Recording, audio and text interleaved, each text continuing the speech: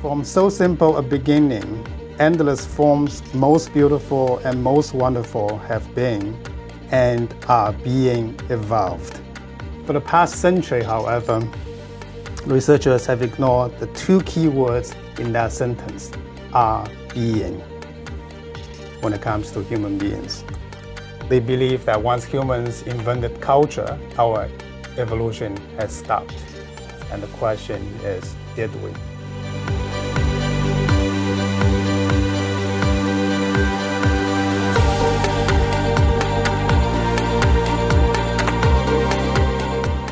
I'm Chuansheng Chen, professor in the School of Social Ecology. I study human behavior from interdisciplinary perspective. I was trained as a cross-cultural developmental psychologist. So one of my lines of research focuses on how cultural factors affect child and adolescent development. So over the years, I've tried to integrate a multidisciplinary approach to my uh, research. I've worked with developmental psychologists, uh, anthropologists, molecular geneticists, and uh, cognitive neuroscientists. We try to understand how the brain and genes and behaviors are all interconnected.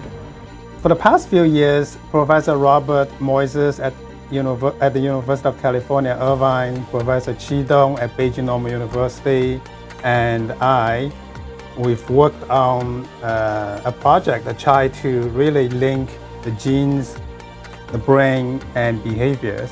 So most people think that biology is the basis of human behavior, right? We do things because our brain tells us what to do.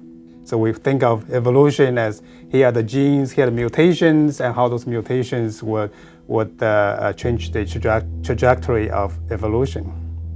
And what we're doing is actually try to, to putting an, a notion that actually the driving force behind human evolution may not be the biological entity.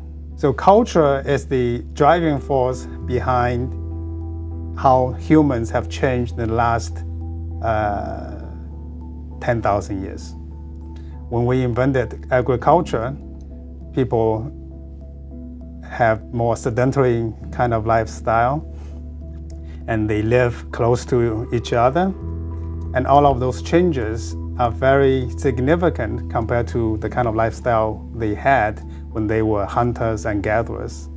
Recently, we look at the signatures of recent selection in neurotransmitter genes, basically all the genes that are important in human brain functions, and found that they showed especially recent and very strong selection. The recently selected genes have been linked to behaviors such as alcohol use and emotional regulation.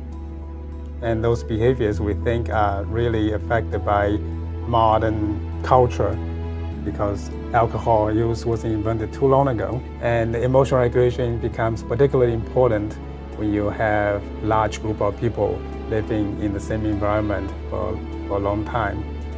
So there's this new field called cultural neuroscience.